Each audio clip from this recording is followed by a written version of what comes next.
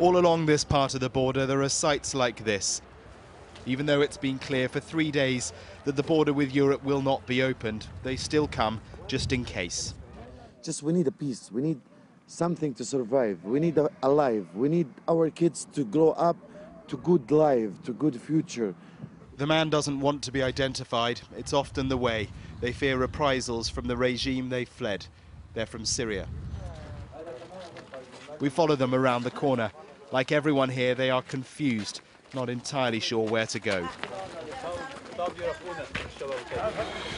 Through a tunnel, a villager ahead is offering them another lift, closer to the border.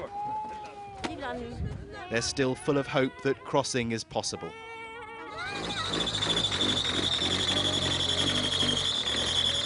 And so, on another truck, they move on.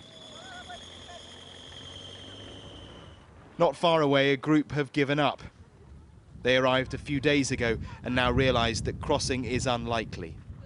Uşak'ta oturuyoruz. Bir de okul okumak için gidiyoruz.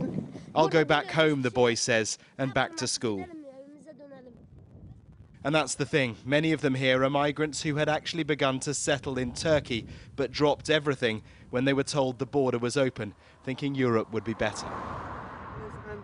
Down the road, two men from Iran. They told us they'd managed to cross to Greece yesterday, but then they claimed they were hit by Greek border guards and had their phones taken.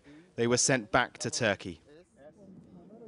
At the official border crossing, a team from the Turkish government had arrived, among them a senior advisor to Turkish President Erdogan. The government here is very angry. They feel the EU is not sharing their burden of migrants.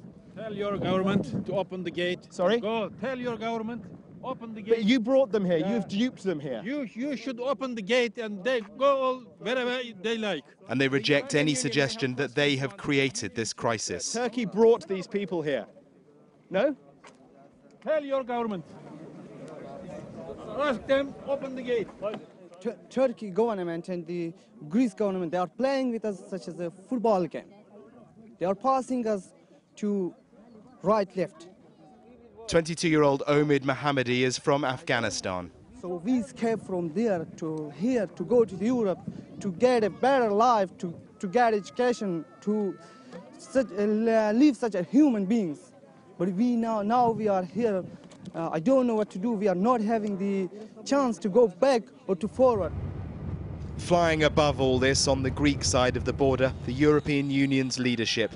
They took an aerial tour of the EU frontier at a new moment of crisis for Greece and for them. On the ground, they took no questions and placed the blame for this with Turkey. that migrants and refugees cannot be used as instruments, as pawns in a geopolitical game. They are the true victims of these types of policies, and this is an approach that cannot be deemed acceptable. The problem is that no one feels they can take this burden. They can't agree to share it. Mark Stone, Sky News on the Greece Turkey border.